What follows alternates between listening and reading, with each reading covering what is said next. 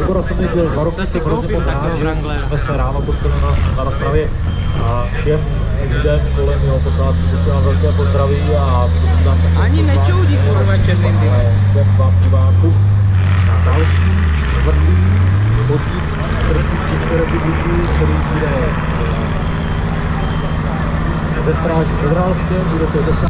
června, zakladní 10. června, chápu, že do stráže, je to 40 km, ale že to bude společný